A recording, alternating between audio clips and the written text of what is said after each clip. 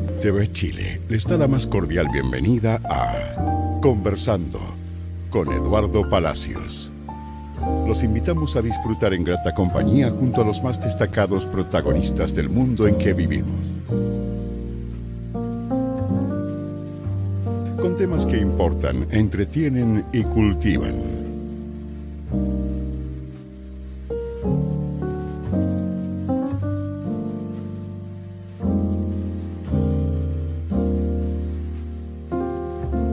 Pónganse cómodos, ya estamos conversando con Eduardo Palacios.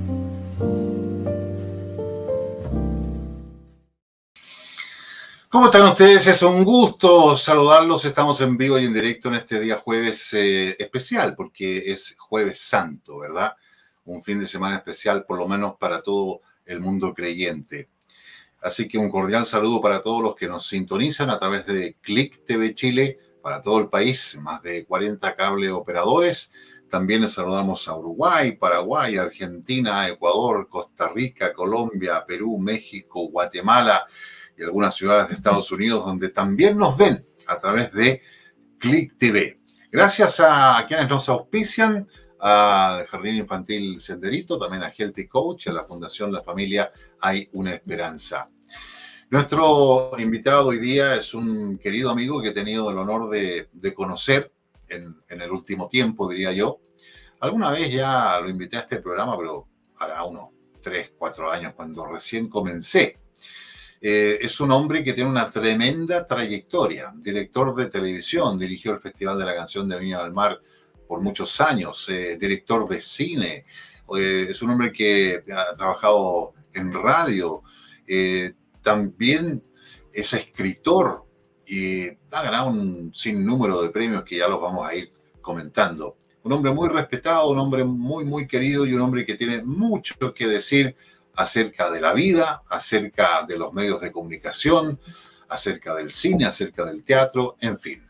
Así que recibimos con eh, muchísimo cariño a mi querido amigo Sergio Risenberg. Qué gusto estar contigo, Eduardo. Un saludo cordial para todos los auditores de, Chile y el mundo. Muchas gracias. No, gracias a ti, Sergito, por estar.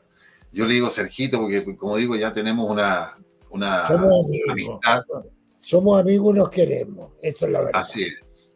Así es. Así es. Sergio es, eh, tú eres un hombre muy, muy, muy, muy de piel también, Sergio. Eso, eso se nota. Y, eso es bueno en estos tiempos que vivimos que en general las, relaciones a veces son tan frías, ¿no? Sobre todo en este mundillo de, de las comunicaciones. Así que para mí es eh, un, gran placer, un agrado y también un honor. Eh, tú eres un referente en el mundo de la televisión, pero también en el mundo del cine. Eh, has escrito varios libros, de los cuales ya vamos a conversar también. Pero yo quisiera comenzar un poquito hablando de ti, Sergio, si te parece. Obviamente tú eres eh, de, judío, de familia judía. Eh, tu padre, entiendo, nació en Rusia y fue músico, entre otras cosas. En, en, el caso tuyo, ¿eres practicante de la religión judía? ¿De las tradiciones judías? No, no, lamentablemente no. y no las conozco prácticamente. Mi padre murió cuando yo tenía cinco años, mi hermana tenía dos. Y mi madre estaba ajena, sintiéndose judía, a lo que es la parte, digamos, religiosa de la fe. Ahora, claro, yo soy judío, pero soy chileno, no soy israelí. Y la gente tiende a confundir al israelí con el judío. Correcto, correcto. ¿Y qué, recuerdo, qué recuerdos tiene Sergio de... De Netanyahu, por ejemplo. Ajá. ¿Qué recuerdos tienes de tu familia, de tu, de tu infancia? ¿Cómo fueron esos años? No muy feliz, fíjate. Haber perdido... Claro, haber perdido a tu padre, a los cinco años y tanto, y vivir una vida sin papá no es fácil. No es fácil. nadie después te enseña a ser papá. No tienes un modelo cuando tú ya lo eres. Eh, mi madre, abogado, prestigiosa, bastante autoritaria, muy llevada por, eh, por su temperamento. Eh, no, no, no, tengo un, recuerdo de, una vida familiar eh, agradable. bien, mi padre no tenía parientes en Chile. Y por el lado de mi madre, la verdad es que los conozco muy poco. Ajá. Y ahora, eh, en cuanto a tu, a tu profesión, distintos oficios, ¿qué, es lo que tú soñabas cuando eras un adolescente? Porque es la época en que uno empieza a soñar, ¿no es cierto? Lo que quiere hacer en el futuro, en fin, que te llevó a realizar todo lo que has hecho, eh, bueno, ya lo mencionamos, ¿no? En televisión, en el cine, en la literatura, en el teatro, etc. ¿Qué pensabas en esa época? conquistar Hollywood. ¿Ya? Evidentemente. Yo soy parte de una generación que se formó en el cine, yendo mucho al cine. Íbamos al cine con mis amigos de barrio, mis verdaderos amigos de toda una vida, que desafortunadamente ya no están. Íbamos el día lunes al cine vaquerano, que daba dos películas. El martes al cine Normandí, vivíamos en el barrio Bellavista, en la plaza hoy llamada Camilo Mori, en aquel tiempo llamada Doctor Gandulfo. Eh, íbamos al cine Normandí los martes, los viernes a, las populares del Miraflores. Es decir, yo quería ser actor y conquistar Hollywood. Y entré a estudiar en la escuela de teatro a muy temprana edad, estando en el colegio. En aquella época se podía ingresar a la escuela vespertina de la Universidad de Chile con cuarto año de humanidades cursado. De modo que a los, en mi quinto año de humanidades, imagínate de los tiempos que hablo, yo ingresé a primer año de la escuela de teatro, terminé en la escuela diurna, en una generación maravillosa de grandes, grandes, grandes nombres que triunfaron en el teatro en la dramaturgia y también en el cine. Mm. Eh, de ahí derivé al teatro activamente ya como actor. Empecé a, estudiar dirección de actores y después ingreso a la televisión estando en la Escuela de Periodismo de la Universidad Católica. Y me toca dirigir a mis profesores, a los que fueron mis profesores en la escuela de teatro. Ah, mira. Y esa es una experiencia muy significativa en mi vida. Mm. Que quien me dirigió y me formó acepte ser dirigido por aquel muchacho al cual le dio clases. Ahora, eh, por lo que tú nos cuentas, Sergio, eh, tus eh, ilusiones siempre fueron, tus pensamientos, tus proyecciones fueron en grande, porque estabas pensando nada menos y nada más que en Hollywood. en esa época, ¿quién te o quiénes te inspiraron en el, en el mundo actoral, por ejemplo? Tú lo veías en, en, en, la pantalla. Bueno, los grandes de aquel momento, de los años 50, 60, Marlon Brando, James Dean, Paul Newman, una infinidad. Yo estuve a punto de llegar a la escuela de, del Actor Studio. Presenté todos mis papeles para irme a, estudiar con Elia Kazan. Si tú lograbas entrar a esa academia, prácticamente tenías asegurado tu futuro como actor de cine y de teatro. Pero no pude. ¿Y qué pasó? Un examen de inglés y salí mal el examen ah. se daba en la embajada. Y claro, yo podía hablar un poco de inglés, pero el examen era dificilísimo y no dominaba el inglés. Fíjate que me pasó una experiencia muy parecida años después, trabajando en la BBC de Londres como director de programas. Me costaba dirigir porque yo pienso en castellano y tengo que traducir al inglés. No es lo mismo. No, exactamente, no es lo mismo. Pero no se te ocurrió, Sergio, decir, bueno, si es lo, que, lo único que me está faltando para llegar al, Actor Studios, que entre paréntesis, cada vez que puedo veo ese programa porque me, encanta y me encanta la forma de, entrevista que se hace. Eh, si era tu único obstáculo, ¿no pensaste a lo mejor en, estudiar inglés, en, especializarte en el idioma? Eh, era muy difícil.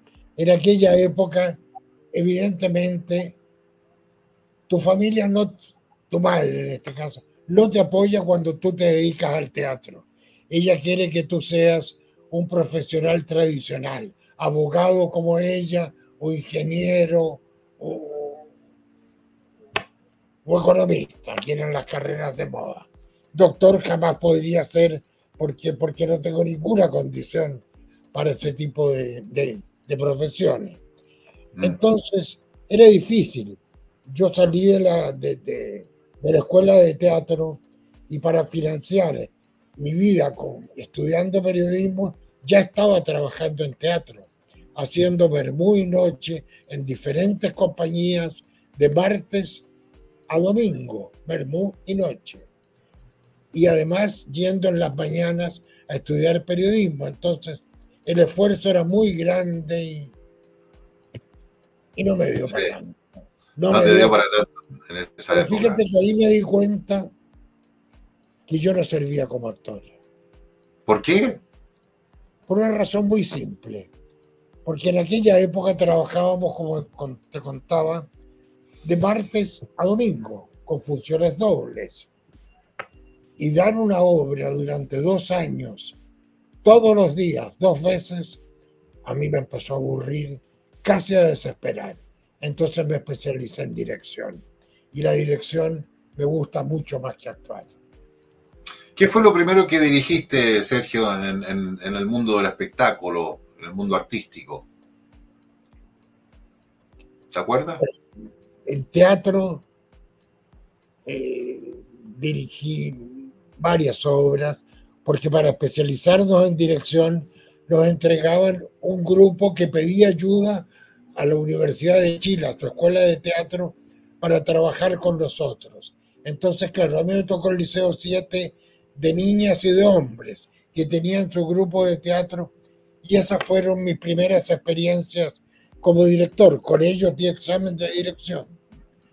Eh, después ya dirigí a, grandes actrices, incluso la compañía de, de la Silvia Piñeiro. Pero en fin, fueron, fueron años Marcelo Romo, Tennyson Ferrada, María Canepa. Me olvido. Pero sí tengo un recuerdo maravilloso, que como actor, una de las últimas cosas que hice como actor fue haber trabajado en la compañía de Alejandro Flores, tal vez el más grande actor de todos los tiempos de Chile. Mm. Y yo tuve el privilegio de actuar con él. De lo que tú dirigiste, Sergio, eh, me refiero cine, televisión, teatro. Eh, ¿qué, te, ¿Qué te llena más? ¿Qué te ¿Dónde te sientes más cómodo? Donde me sentí más cómodo en la televisión, evidentemente. La televisión es mucho más directa. Y nosotros partimos como directores haciendo teleteatro, teleteatros en directo y sin videotape con cinco, seis, siete sets distintos, es decir, escenografías diferentes, tú tenías que desplazar la cámara a la próxima acción que estaba por suceder. Eh, íbamos en directo. Y dirigiendo teatro, yo gané el primer premio como director que se entregó en Chile y que lo daba la revista Ecran. Y debo haber tenido 25 o 26 años. Sí, era muy famosa esa revista, junto con la revista Ritmo de, la época. Eh, ¿Qué tiene que tener un director, eh, Sergio? Eh, ¿Cuál es la labor específica o las labores? Porque yo creo que es más que una. por un lado está el, trabajo propio de un director, ¿no es cierto? Y por otro lado, ¿qué tiene que tener un director para transformarse en un buen director. En, cine, en audiovisual o en teatro. Porque hay diferencias. Hay diferencias, pero háblanos un poquito de esas diferencias. De televisión que ha sido lo que más he hecho. Ok. Primero saber elegir muy bien la obra que va a dar. Después escoger el elenco más idóneo para representar los personajes que intervienen en la obra. Y tener estilo. El estilo es algo con que se nace. El estilo es algo que incluye la estética con que tú miras la vida, con que tú te desenvuelves, cómo decoras tu casa, sí. cómo encuadras, cómo haces un encuadre en televisión, cargas la figura a la izquierda, a la derecha, al centro, conocer muy bien los planos de reacción, porque hay planos de acción que es la persona que está hablando, pero hay a veces es más importante el plano de reacción de la persona a la que le están hablando o se están refiriendo. Es decir, el estilo es aquello que identifica a un realizador. Y los directores que no tienen estilo trabajan, pueden ser correctos, pero nunca van a llegar a ser grandes, grandes en el medio en el cual se desarrollan. ¿Y cómo fue tu experiencia? Bueno, yo entiendo que el último programa de televisión que tú dirigiste, corrígeme si me equivoco, fue eh, Vivo el lunes, ¿no? No, siempre el lunes. Ah, el siempre el lunes, perdón. Era otro lunes, el siempre el lunes. Eh, ¿cómo, ¿Cómo fue dirigir, por ejemplo, ese tipo de estelares en televisión y por otro lado, el Festival de la Canción de Viña del Mar? A ver, espérate. Siempre el lunes fue un programa que yo diseñé y estudié para Antonio Bodanovich. ¿A quién iban a dejar de lado? Porque a TVN trajo a César Antonio Santis. Por aquel entonces a alguien se le puso que el candidato a la presidencia que iba a suceder al gobierno de, de Pinochet era don Francisco. Entonces querían una figura que estuviera a la par y ojalá opacara a don Francisco. Y le crean a Santis un piso completo, un tercer piso completo en el edificio y le dan todo, todo, todo, todo, todo, todo. Fue un fracaso. Fue un fracaso. Fue un fracaso. Ahí entonces yo creo siempre el lunes. Y siempre el lunes, ¿qué, era? era el resumen de la televisión diaria a través de un estelar nocturno. Tenía cosas de un matinal, tenía cosas de un informativo, tenía concurso, tenía humor, tenía música. Es decir, todo lo que había sucedido en el día, yo lo resumía en dos horas a través de un estelar. Y con respecto al, Festival de Viña, que te tocó dirigir tantas veces, porque eso tiene un condimento especial, porque es un, show en vivo de varias horas que está siendo eh, transmitido a, gran parte de, Iberoamérica. ¿Cómo fue esa, esa experiencia, Sergio? Bueno, me llevó, la verdad es que el canal, el gerente de producción de aquel momento me dice, Sergio no siga insistiendo con los teleteatros. Vas a tener problemas, porque claro, la mayoría de los autores son de izquierda, los actores son de izquierda, y estamos en un gobierno, una dictadura de derecha, a musicales. Yo necesitaba vivir, tenía dos hijas, y comencé a hacer musicales sin tener mayor experiencia. Y al, al año o dos años llego a dirigir el Festival de Viña. El Viña no es un programa de televisión. Viña es un festival televisado. Y Viña hay que trabajarlo todo el año. Yo empezaba a contratar, a sugerir nombres, a tomar contacto a finales de marzo, a comienzos de abril. De modo que tipo julio, agosto, la parrilla prácticamente estaba definida no hacíamos intermedio más que uno para que la gente fuera a hacer sus necesidades. Entonces no eran una suma de recitales que es lo que sucede hoy día, sino que era un festival televisado. Sí. Y dentro de las anécdotas, Sergio, eh, eh, ¿cuáles recuerdas? Porque me imagino que dirigiendo un festival pasan muchas cosas, ¿no? Distintos artistas, los artistas son distintos, exigen cosas distintas. Mira, como experiencia lo más difícil fue un día que a los cinco minutos de comenzar el festival se cortó la comunicación con camarógrafos, técnicos, con todo el mundo. Y yo saqué ese festival esa noche sin que nadie se diera cuenta de lo que estaba sucediendo. Porque yo llevaba mi equipo de trabajo de Santiago, el mismo con que hacía los programas, que conocían mi estilo de dirección.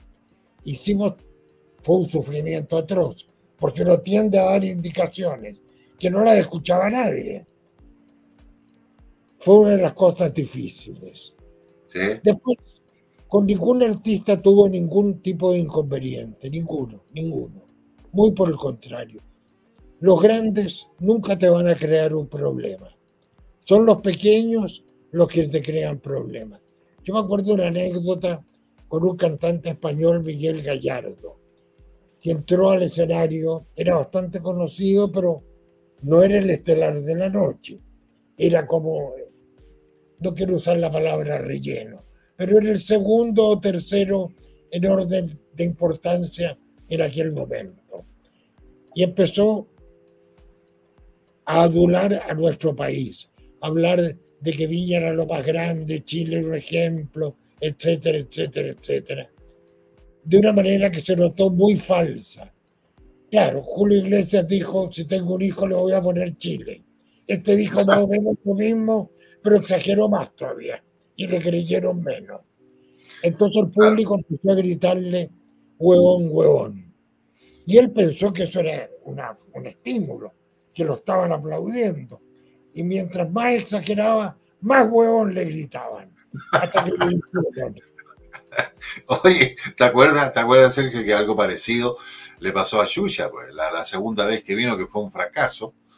Hasta ah, eh, estaba yo dirigiendo no estabas tú, pero le pasó lo mismo, pobrecita. No, estaba, estaba el, público, empezó a gritarle una, grosería y ella no, lo entendía y pensaba que, la estaban alabando. Bueno, en fin. Vamos a hacer una pausa comercial porque estamos conversando con el gran Sergio Risenberg. Nos separamos por eh, pocos segundos y volvemos. No se vayan. Qué importante es la educación de nuestros niños. Por eso hay que saber elegir. Jardín Infantil Senderito proporciona a sus hijos un ambiente Montessori, el mejor del mundo. Ahí encontrará un personal especializado en diferentes áreas, educadoras de párvulo, guías Montessori, psicopedagogas, especialistas en lenguaje, nutricionistas, además de talleres programáticos, entre otros. Espacios especialmente diseñados para el aprendizaje y esparcimiento de los niños. En Jardín Infantil Senderito tenemos una misión orientada a la observación y el conocimiento profundo de los niños. Y algo muy importante, entregamos valores a los más pequeños para que sean grandes personas el día de mañana. Estamos ubicados en Darío Ursúa 1523, Comuna de Providencia. Nuestro teléfono 22 455 6288. Jardín Infantil Senderito. Comienza tu camino con nosotros. La obesidad es una pandemia que podemos combatir. Tienes todo el poder para dejar a un lado lo que te hace daño. La clave del Health Coach, un experto en dietética, es dar herramientas y acompañar a las personas en el proceso de aumentar su bienestar y felicidad servicios a sus clientes, entrenamientos de hábitos, plan de alimentación, guía de alimentos, menús semanales y temáticos, suplementación, acompañamiento, sesiones online. Reserva tu hora por WhatsApp al más 569 4244 82 68. Jardín Infantil Senderito, metodología Montessori, la mejor del mundo, ubicado en la comuna de Providencia, en la calle Darío Ursúa 1523. Eh, todavía están en el proceso de matrícula. Bueno, los niños pequeños eh, se van matriculando en realidad durante todo el año. ¿ah? Yo se lo recomiendo porque tienen un personal especializado en todo lo que los niños hoy día necesitan. Y además les entregan algo muy importante como un como un bonus track, por decirlo de alguna forma, que son los valores. Eh, tienen eh, educadoras de párvulo, psicopedagogas, especialistas en lenguaje, nutricionistas, también talleres programáticos, así que es súper entretenido. Jardín Infantil Senderito se lo recomiendo. Y Healthy Coach, pues para aprender a comer sano, porque es parte de la vida el hecho de comer sano. Seguimos conversando con eh, Sergio Risenberg, eh, Mariano Saavedra acá dice, qué gran invitado, uno de los tres más grandes directores de televisión. Los mejores programas y las mejores ediciones del Festival de Viña fueron dirigidas por él. Felicitaciones, te, manda uno de nuestros, de nuestros televidentes, Sergio. Eh, te quedaste sin, no te estoy escuchando, Sergito. A ver cómo, a ver qué te Ahora sí. Ahora sí, ahora sí. Sí, sí, ahora sí. Perdón, le doy a las personas que me mandan saludos, recuerdos y cariño. Oye, yo estaba viendo acá. Uno tiene que querer a su público, tiene que querer el país, tiene que querer lo que hace y entregarle siempre lo mejor. Cuando yo hacía televisión, yo quería mostrar el alma de las personas que participaban ya sea cantando, bailando, actuando, haciendo reír. Meterme en sus corazones, en su cerebro. Por eso les acercaba la cámara y les hacía primeros planos. Si tú recuerdas, o la gente se fija, yo jamás retrocedía con una cámara en algún momento. Por el contrario, entraba siempre, ojalá hasta los ojos de la persona con, con que, estaba actuando. Sí. Hablando de eso, Sergio, de la parte humana de los artistas, y a ti te tocó conocer muchísimo, ¿hay alguien que te haya llamado especialmente la atención por su calidad humana, más allá de, de la calidad artística? Claro, pero ahí ya entran factores de carácter personal. Yo te diría que del Festival de Viña no obstante, tengo muy buenos recuerdos de mucha gente. Emanuel, por ejemplo, que viajó especialmente porque me falló un artista en Siempre Lunes. Desde Alemania, un día domingo para actuar en Siempre Lunes. Pero mis grandes, grandes amigos siempre fueron Sandro, Leonardo Fabio y José Luis Perales. Sí, de, de Sandro he sabido bastante, me han comentado bastante. Con ellos tuve relaciones especiales de amistad. Te cuento, cuando terminé Gracia y El Forastero, yo no pude hacer la mezcla de sonido en Chile Film porque no era el régimen. Entonces no me daban Chile Film. Me lo daban porque estaban obligados por ley. Pero también la ley les permitía, si había un evento especial, quitármelo. Y vivían quitándomelo. Entonces me fui y terminé la película La Mezcla de sonido en Buenos Aires. En ese momento, Leonardo Fabio estaba terminando o haciendo la mezcla del sonido de su película Juan Moreira, que ganó el Festival de Berlín, una especie de Manuel Rodríguez, una película preciosa. Y necesitaba un día más, pero ese día me correspondía a mí por contrato. Y yo le cedí el día. Le dije, termina, yo espero, me quedo un día más. No lo podía creer. Pero por favor, ¿cómo vas a interrumpir un proceso creativo? Termina, yo espero un día más. Te falta un día, termina. Terminó la película. Nosotros hicimos en tres o cuatro días nuestra mezcla de sonido y llegamos al término. Cuando pido la cuenta del hotel, el hotel estaba apagado. ¿Quién lo había pagado? Leonardo Fabio. Mira, gran gesto en todo caso, ¿ah? gran gesto. bueno, ahí una, amistad, una amistad preciosa Leonardo era un gran director de cine, gran actor además. Sí, hizo películas. Gran, gran. Hizo películas con Leopoldo Torres Nilsson, que es como el símbolo del cine argentino. Sí. Eh, qué importante esto que nos cuenta Sergio, porque yo creo que cultivar amistades en este mundo artístico donde, es todo tan vertiginoso, donde de por medio está la fama, el ego, este, el orgullo, etcétera, etcétera, y el dinero también. cultivar una, amistad más eh, sincera y lograr conocer a uno de estos grandes artistas, mm, yo creo que no es fácil y no se da en muchas ocasiones. Así que eh, quizás es eh, un, buen consejo para las nuevas generaciones de cantantes, actores o, lo que quieran dedicarse en el mundo artístico, ¿no? que cultivar también la, parte personal sin perder ciertos valores. ¿Sabes qué más, Eduardo? Importante. te, cortado. Ah, estaba viendo yo acá, eh, Sergio, bueno, te iba a decir, en tu calidad de escritor. Sí, dale, dale. Que vive nuestra sociedad hoy es que cuando tú conoces a una persona o cuando dos personas se conocen, inmediatamente piensan, cada uno por su cuenta, ¿qué provecho le puedo sacar a esta persona? Y se encuentran que no le van a sacar partido alguno, simplemente esa amistad no se genera. Eso es algo casi inconsciente, pero eso está marcando una sociedad que se aprovecha de sus congéneres. Por eso que los grandes amigos de la vida son aquellos que nacen en el barrio, cuando tú eres pequeño, cuando tú no esperas nada más que solidaridad, afecto, comprensión, lealtad. Esas son las grandes amistades que duran una vida entera y que lamentablemente yo perdí. Perdí porque, porque ya no están nomás. Ya no están ya.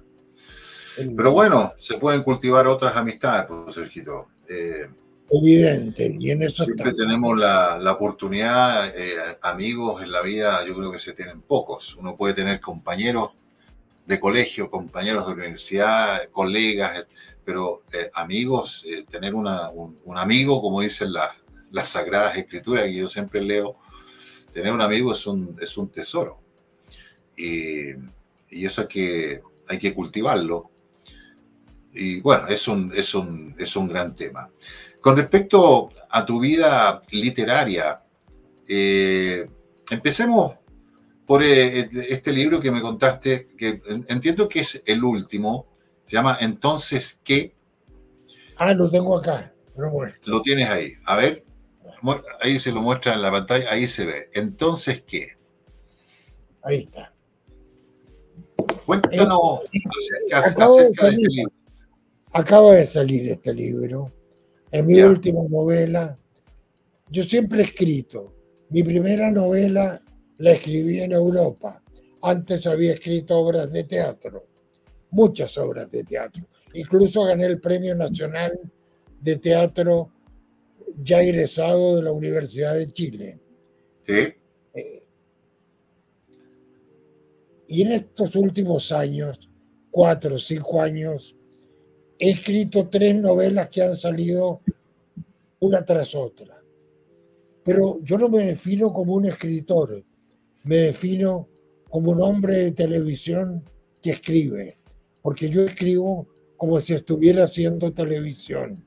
Es decir, con ese ritmo, con ese estilo, con esa rapidez, voy pasando de un tema a otro, tratando de que nada quede pendiente, resolviendo cada uno de sus personajes. En este libro, Sergio, en este libro, tú hablas de varios tópicos, hablas de, de política, hablas de fútbol, hablas del amor, de la vida, eh, también de la contingencia. Y, me imagino yo que vas haciendo un, mix eh, a tu estilo, ¿no es cierto?, de todas estas cosas que tienen que ver, porque la vida está compuesta por todo esto, ¿no?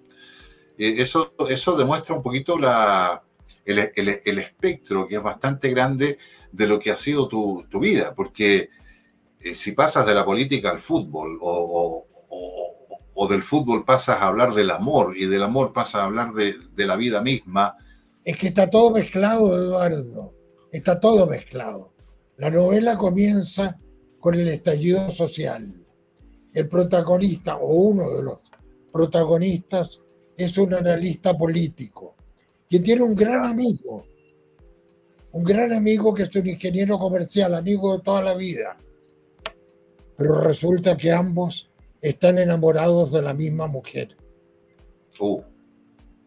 Sin que ninguno se lo sepa, el otro lo sepa. Esa mujer está casada con uno de ellos y se van generando situaciones, porque la hija de, de uno de estos personajes se enamora de un futbolista argentino que viene de vacaciones a Chile y el futbolista argentino consigue venirse a jugar a Universidad Católica porque además estudia Derecho y puede terminar su tesis, pero viene a Chile por amor. Sin embargo, es un gran jugador de fútbol al que lesiona un jugador menor, digamos, por un acto irreflexivo, porque él es producto, me refiero al segundo jugador, de una población donde o pegas o mueres. Y él actuó ah. Sin mala intención, pero lo lesionó. Y se hacen muy, muy, muy amigos. Este tipo lo va a ver todos los días al hospital y terminan siendo muy, muy, muy amigos. Al punto que al final de la novela, cada uno juega por su selección y se encuentran en la Argentina. Y se abrazan y le dice, juega como tú sabes jugar. No, no tengas miedo de lesionarme, porque tú me tienes que marcar a mí. Y le dice, en el debut de, de ellos en la selección, le pide cambiar camiseta. Y el chileno le dice, no, esta camiseta es para mi madre, a ti te traje otra. Y le lleva al camarín del equipo argentino la camiseta de Universidad Católica, que es el equipo al cual el argentino lo llevó para jugar la Copa América. Es muy lindo el final y es muy emotivo. Así parece, una gran, una gran historia. ¿eh? De, de que en el fondo los seres humanos somos todos muy parecidos. Tenemos matices de diferencia, producto del medio en el cual nos formamos, nos tocó nacer, nos desarrollamos. Porque no es lo mismo nacer en el barrio alto, nacer en el forestal, que nacer en una población donde el imperio de la fuerza es lo que vale y lo que se impone. Sí. En el libro tú hablas de la vida también. Yo, yo me imagino, eh, Sergio, que en la vida te ha enseñado muchas cosas. Te ha tocado eh, sufrir, me imagino, como todo ser humano, vivir alegrías, por ahí cometer errores. Así somos los seres humanos. ¿Qué, te ha enseñado la, vida? Eh, en el sentido que tú puedas dejarlo como un, como un legado, no solamente a tus hijos, sino que a la gente que te lea, a la gente que te vea. Que en el mundo hay varias formas de establecer una sociedad, varias formas. En algunas, la religión se entromete en la vida política y pone dictámenes bastante rigurosos. La religión católica lo, lo vivió, la religión judía lo sigue viviendo, el Islam, ¿para qué decirlo? Y eso hay que separarlo. La iglesia tiene que estar fuera del Estado. Pero sin embargo, entre las dos grandes opciones del mundo actual, marxismo o democracia, yo voy a optar siempre por la democracia. Y en eso consiste mi libro. La democracia te permite expresarte, ser tú, hacerlo con respeto, es el ideal pero tú puedes decir lo que piensas. En el marxismo o estás de acuerdo con el gobernante de turno o el dictador de turno, o simplemente vive las penas del infierno. Vivimos la experiencia en Chile. Los contrarios a Pinochet lo pasaron muy mal. Los contrarios a la CNI lo pasaron muy mal. Entre esos yo. Mm. Ah, ¿tuviste alguna experiencia personal en esa época? Claro, hay un, había un señor que era amante de la, de la Maripepa Nieto y que él quería poner a la Maripepa en el Festival de Viña. Y yo me opuse. Y me opuse terminantemente, porque consideré que no correspondía que ella actuara en Viña porque, porque o mostraba lo que tenía que mostrar y, y no era un festival para mostrar encantos naturales. Y me opuse y me amenazó con las penas del infierno. Lo mm. peor es que lo cumplió. Pero yo estoy muy ah. contento de haberlo hecho y hoy día volvería a actuar de la misma forma. Bueno, entre otras cosas, Sergio, para que ustedes sepan, va a ser eh, candidato a alcalde. Pero de eso vamos a hablar a la vuelta de esta pausa que vamos a hacer en pocos segundos. Bueno. Fundación La Familia Hay una Esperanza trabaja hace más de 25 años promoviendo en las familias la restauración de los valores espirituales, buscando su propio bienestar y el de toda la comunidad, por lo que anualmente realizamos seminarios, conferencias y encuentros, entre otras actividades. Así también, nuestra fundación patrocina y colabora con proyectos de carácter social, dirigidos a familias y personas en vulnerabilidad. Esto lo hacemos a través de diferentes campañas, como por ejemplo, campaña de invierno, cenas navideñas y nuestra campaña de canastas familiares mensuales, trabajo que realizamos hace 20 años. Los invitamos a sumarse a esta noble iniciativa para ayudar a cientos de familias que atraviesan momentos difíciles si quieres ser parte de esta labor que entrega esperanza, amor y da un respiro a muchas personas, hazte socio. Tu aporte se unirá al de otros para que juntos le digamos a las familias, estamos contigo. Ellos nos necesitan. ¿Contamos con tu ayuda? La Fundación La Familia y una Esperanza realiza un trabajo hace ya más de 25 años apoyando a cientos y miles de familias en nuestro país y fuera de él también que lo necesitan. Lo necesitan en términos materiales, en términos emocionales, en términos espirituales, en fin. Eh, la vida familiar hoy día ha cambiado muchísimo, no es, no es fácil para nada, ¿no es cierto? Ellos se dedican a, a levantar familia en todo el sentido de la palabra. Así que si ustedes quieren saber más, se pueden meter a la página www.lafamiliaenesperanza.cl. Y también si quieren donar para que ellos sigan realizando este trabajo, bueno, obviamente que será muy, muy bienvenido. Seguimos conversando, conversando, digo, con, eh, con Sergio Risenberg aquí en, eh, en pantalla. Antes de entrar a, a tu candidatura, Sergio, y hablar un poquito de, política, o mejor dicho, de tus proyecciones. Eh, te quería preguntar, ¿cuál, para ti, ¿cuál ha sido el, premio, el premio que has ganado, el más importante? El Emmy. El, Emmy en los Estados Unidos, eh, peleándolo o enfrentado a los grandes realizadores hollywoodenses eh, ¿Por qué yo postulé a ese Emmy? Porque el Festival de Viña se daba en Estados Unidos. Entonces, ellos me postularon, yo no lo supe nunca, ni siquiera supe que era candidato al Emmy.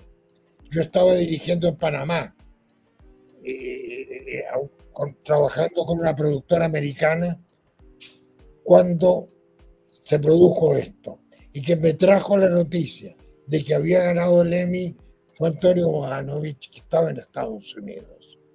Mm. Y bueno, ahí pedí que me mandaran el Emmy, que es el premio más importante de la televisión mundial. Mundial, exactamente.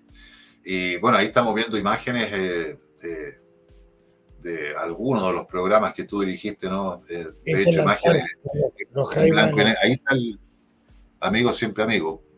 Sí. Sabor Ahí latino. Chile, una experiencia maravillosa. Ahí está Holanda innombrable. Eh, bueno. Nómbrala nomás, la Maripepa. Yo no la nombro. Bueno. Eh, y, sí, hacer un programa en la Antártica que esté reconocido en el libro de Guinness es importante. Y hacerlo con los Jaivos fue una experiencia maravillosa. Estuvimos 15 días en la Antártica. Y no es fácil, ¿eh? No es fácil dirigir en la Antártica. Ahí estábamos viendo imágenes tuyas eh, hace, hace algunos años, pero está, estás igual, Sergio, ¿eh? te mantienes igual que en, aquella época. Eso dices tú eres muy amable. Tengo muchos años y he cambiado cosas en mi vida. Bueno, hablemos de tu candidatura eh, en esta última parte del programa, Sergio querido. te vas a presentar como alcalde, ¿verdad? por la comuna de Peñaflor. Primero te pregunto algo que es obvio, pues, quiere decir que la política te interesa, te atrae, si no, no estarías presentándote, pero eh, ¿qué te gustaría lograr como político en este caso? O como alcalde. ¿Por qué Peñaflor? Yo ingresé al Partido Demócrata hará unos meses, porque sentí la necesidad de entregar mi experiencia y mi amor por Chile a través de una causa justa. ¿Y por qué elegí Peñaflor y pedí ser candidato por Peñaflor? Porque mi sueño fue siempre terminar mis días viviendo en Peñaflor. Quiero hacer de Peñaflor el ejemplo del Chile al que todos aspiramos. Un lugar de recreación turística, de paz, de respeto a la naturaleza, donde las pibas puedan desarrollarse y donde pretendo, si salgo electo, llevar la Escuela de Artes y Oficios, volver a establecerla ahí, para generar una serie de profesiones técnicas hoy muy descuidadas o que se entregan a través de institutos que cobran carísimo. Eh, quiero hacer de Peñaflor el ejemplo del Chile que todos queremos, donde podamos caminar tranquilos, observar la naturaleza, poder tomar un café, no tener miedo que nos asalten y tantas otras. No son muchas las cosas que hay que corregir en Chile. Son cinco o seis. Y yo no voy a prometer más, porque va a ser imposible cumplir más. Pero aquellas que prometa, voy a poner lo mejor de mí para que se logren.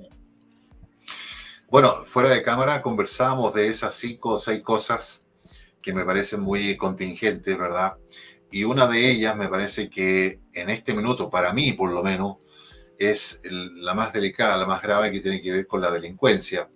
Si tú tuvieras el, poder en, tu, en tus manos, ¿no es cierto? La autoridad en tus manos, autoridad política me refiero, eh, ¿qué harías en términos generales, no solo en Peñaflor, en Chile? para disminuir o terminar con la delincuencia. ¿Por qué llegamos, Sergio, a lo que estamos viendo hoy día? Porque no hay gobierno. Porque no hay gobierno, hay promesas, pero no se actúa. Yo terminaría en una sola noche, sin que se sepa cuál noche, con todos los lugares donde se vende, se trafica con la droga, que es aquella que genera la delincuencia o la necesidad de, de un mundo donde la paz ha dejado de existir en una sola noche. Y para eso pediría el concurso de todo el país, de todas las ramas y de las Fuerzas Armadas también. No para que se queden en el poder, para terminar con la delincuencia definitivamente, en una sola noche, actuando con todo el rigor que se requiere para entregarle a Chile de nuevo lo que el Chile que nosotros construimos, Eduardo, vuelva a existir y podamos caminar tranquilos por las calles, tengamos una vejez digna, una pensión que realmente nos permita vivir y no la que yo recibo que es una miseria. Sí. Ahora, eh, ¿harías un poco entonces lo que ha hecho Bukele? Exactamente. Exactamente. Es lo que es lo que Chile, yo creo que muchos chilenos, me cuento entre ellos, que necesitamos ese, ese tipo de mano dura, ¿no? Eh, ¿Cómo te parece a ti, que eres un hombre de, las comunicaciones y sabes mucho de televisión, cómo te parece a ti eh, la actitud de los medios de comunicación en cuanto a la cobertura y en cuanto a la opinión que se transmite a través de sus conductores con respecto a esto de la, de la delincuencia, de que las Fuerzas Armadas, que sí, que no. ¿Qué te parece a ti el trato que le han dado? Bueno, lo de las Fuerzas Armadas yo lo entiendo perfectamente. Vivieron una experiencia terrible, se sobrepasaron evidentemente. Una cosa era terminar con el gobierno marxista de Salvador Allende y otra muy diferente, la cantidad de muertos que fue absolutamente atroz e innecesario que se ejecutaran. Realmente Pinochet ganó en una sola, en un solo día su, batalla por rescatar a Chile de Salvador Allende. Eh, es difícil que los militares, si no tienen las cosas claras, puedan apoyarnos. Pero para eso hay que darle facultades hay que tener policías, investigaciones y carabineros que realmente estén comprometidos y no comprados por las fuerzas ocultas que actúan soterráneamente, protegiendo a algunos en detrimento de otros. Lo del abogado Hermosilla es un asco, una vergüenza. Sí. Me llamó la atención, fíjate, eh, ya que estamos hablando del tema, declaraciones de Evelyn Matei hace algunos días, cuando dijo que ella no estaba de acuerdo con esta, con esta idea que tuvo precisamente un alcalde de, sacar a, a, la fuerza militar a las calles. Y ella no estuvo de acuerdo porque dice que no están preparados y, y eso nos puede llevar a otra cosa. Me llamó la atención viniendo de ella, ¿no? ¿Qué te parece, qué te parece a ti? Lo que, lo que dijo Evelyn Matei. Es que yo no estoy de acuerdo con Evelyn Matei en su forma de ser. Le tengo un gran respeto como persona. Tengo claro que el general Matei, cuando participó en la Junta, no cometió ningún horror contra los derechos humanos, ningún atentado. No hay ningún aviador que esté procesado. Pero ella es hija de un miembro de la Junta de Gobierno y ella fue insultada por el presidente Piñera en un programa de televisión, el famoso ejemplo de la radio Kioto, y que después ella haya aceptado trabajar con Piñera y ser ministro de Piñera, me parece indigno.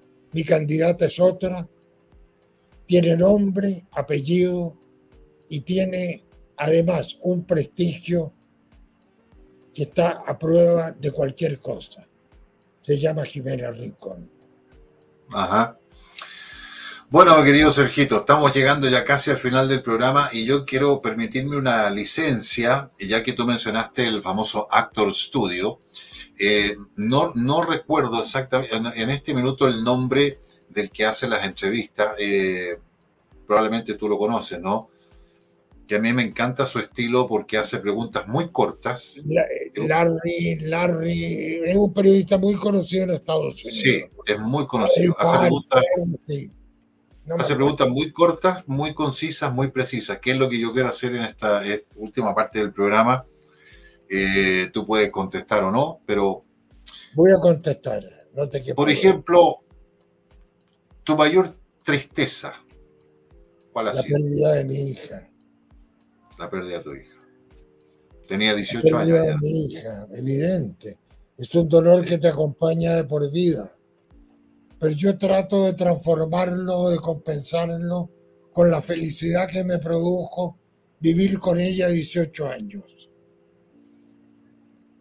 Bueno, no son comparables, pero de alguna manera es, es una forma de compensación. Sí, sí, es verdad. Nosotros como familia, eh, bueno, yo nunca he perdido un hijo porque no tengo hijos, pero eh, perdimos a un hermano, un hermano mío cuando él tenía 16 años. Yo, yo tenía 10. Tú sabes lo que y, a pesar de que somos seis hermanos, un gran dolor que, que mi madre yo creo que lo llevó eh, toda su vida. Pero vayámonos al otro extremo. Tu mayor alegría en la vida. O una de ellas. Mis hijas. El nacimiento de mis hijas. La existencia de mis hijas. Acaba de estar conmigo mi hija mayor, la, que, la única hija que tengo. Que habló contigo, me ayudó a instalarme porque tecnológicamente soy un desastre y siempre tengo que pedir ayuda. Pero ella me viene a ver a menudo y yo voy a verla a ella también, frecuentemente. Tenemos una relación maravillosa. Camila creo que se llama, ¿no? ¿Sí? Camila. no? Camila. saludos a Camila que nos ayudó, como dice Sergio, amablemente para la tecnología. Eh, ¿Tu mayor satisfacción profesional? Son muchos. Son, muchos. Cada programa que he hecho para mí es una satisfacción y los trato a todos por igual.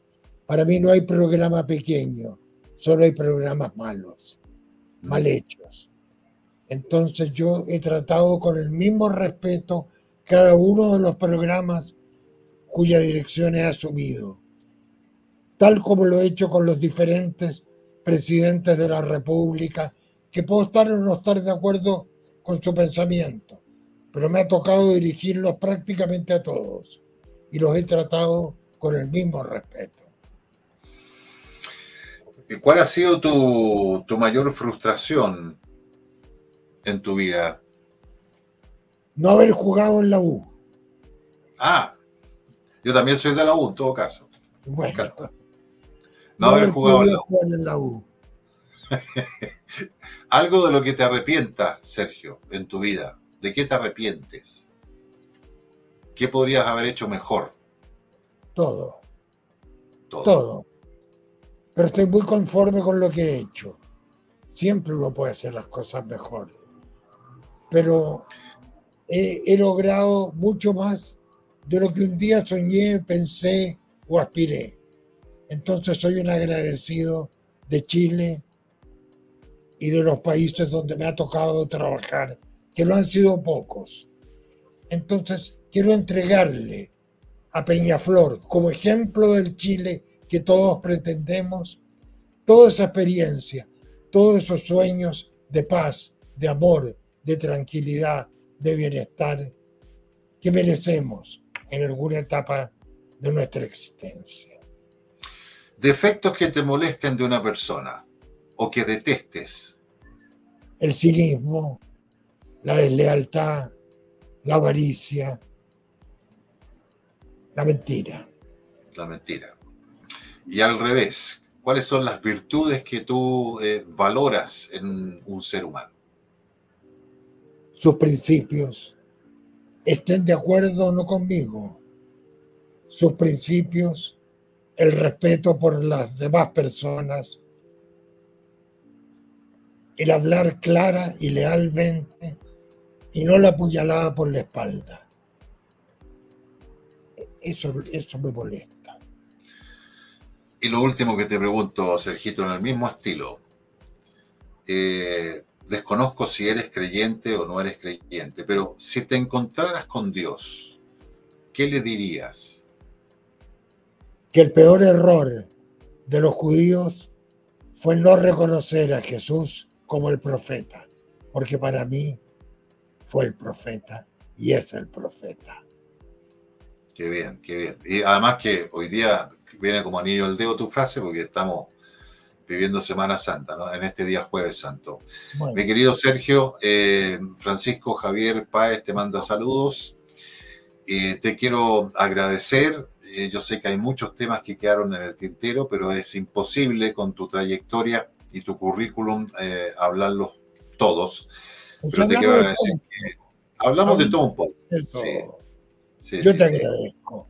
Yo te agradezco que me hayas permitido expresarme, que hayas permitido mostrarme en un momento que para mí es importante. Así es. Te deseo lo, mejor eh, en los libros que vengan o en las, eh, los desafíos. No sé si van a haber más libros. ¿eh? Por ahí, si viera alguno, también en tu candidatura. A partir de, de cierta edad, uno tiene claro que puede decir adiós o puede partir en cualquier momento. Y nunca me ha gustado dejar las cosas inconclusas. Por lo tanto, no sé si habrá más libros. Eso solo Dios sabe. Así es. Y, en mi candidatura, que sea lo que Dios quiera y lo que el pueblo decida.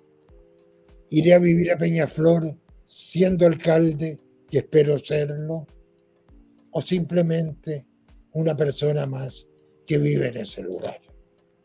Un lugar muy lindo también donde, como te decía yo, tengo eh, grandes amigos.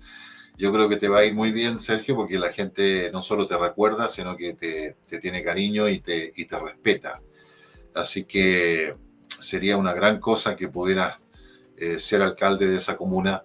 Te deseo el mayor de los éxitos y estoy seguro que en tu mente y en tu corazón están los mejores deseos para ayudar, para sacar adelante todos estos desafíos grandes que tenemos como país. Así que una vez más te agradezco que hayas estado en el programa, Sergio. Un abrazo grande. Muchas gracias a ti, a tus auditores, pero fundamentalmente gracias, y lo reitero, por la oportunidad de poder expresarme como lo he hecho esta noche. Gracias, Eduardo. Un abrazo para todos. A ti, muchas gracias. Y gracias a ustedes también que nos han sintonizado a través de Click TV Chile en todo el país, en gran parte de Latinoamérica y también Estados Unidos. Gracias a nuestros auspiciadores Jardín Infantil Senderito. Comienza tu camino con nosotros, a Healthy Coach para aprender a comer sano y a la Fundación La Familia y una Esperanza que realiza una gran, gran labor. Eh, estamos en vivo y en directo. Este mismo programa sale nuevamente a través de Click TV el sábado a las 10 de la mañana. ¿Ah? Estamos en Sábado Santo, sí, pero yo creo que ha sido un programa ad hoc.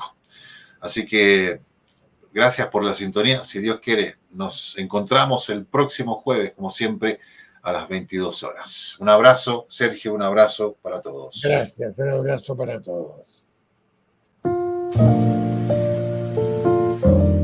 Click TV Chile presentó Conversando con Eduardo Palacios en amena compañía, hablando con los más destacados protagonistas del mundo en que vivimos, con temas que importan, entretienen y cultivan.